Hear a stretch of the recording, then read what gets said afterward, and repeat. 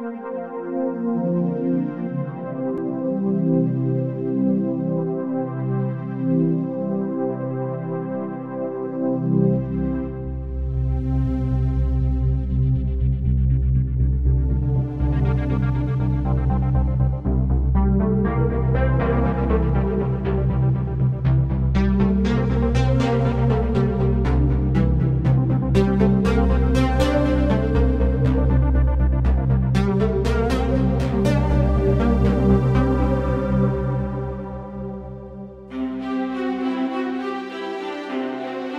Life in Castiglione in Teverina is concentrated in the main square, bordered by the municipality palace, built in the 18th century, the Church of St. Philip and St. Jacob which was created in 1600,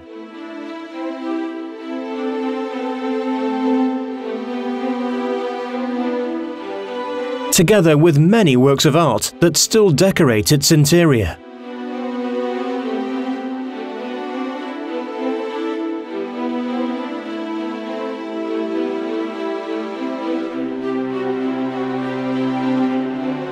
And the Monaldeschi fortress. Crucial episodes happened in this very mansion between 1300 and 1500, as indeed in Castiglione, which was theatre to some bloody fights among the aristocratic families of the Papal State, Monaldeschi, Savelli, and Farnese. Yet the origins of these fights, as those of the fortress, date back to an earlier period, the time of the municipalities in the Middle Ages. This centre was probably founded by the Etruscans and had its period of greater expansion during the Middle Ages. This is evident in the medieval district just behind the fortress, with its narrow roads and its winding staircases, all built in travertine marble. Walking in this pedestrian area is very pleasant, as you can enjoy scenic views on the ravines of the valley and on the Tiber.